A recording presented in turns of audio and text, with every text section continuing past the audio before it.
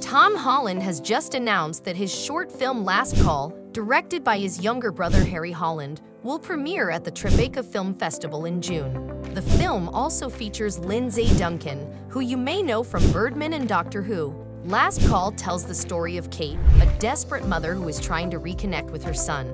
The film is an exploration of mental health issues among young adults, and Harry Holland did extensive research with charities and individuals for the project. Tom Holland shared the news on his Instagram account, saying, The crowded room. I promise you this show will not disappoint. We are seven weeks out from dropping our first three episodes, and I have never been more excited to share something with you. Be part of Dihimame Mystery.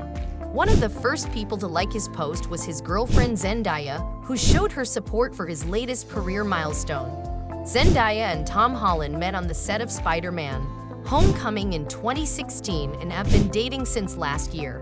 They are one of the most adorable couples in Hollywood and fans love their chemistry on and off screen. Zendaya herself has been busy with her own projects, such as the hit HBO series Euphoria and the sci-fi epic Dune. She recently surprised her fans with a rare live performance at Coachella 2023, where she joined her Euphoria collaborator Labrinth on stage.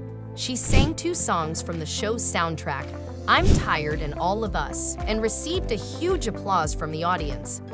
Zendaya later thanked Labrinth for giving her the most beautiful safe space to be on a stage again on her Instagram account. It was her first live performance in eight years since she started her career as a Disney star. That's all for today's news video. What do you think of Tom Holland's short film Last Call? Are you excited for his anthology series The Crowded Room? And how do you feel about Zendaya's comeback to the stage?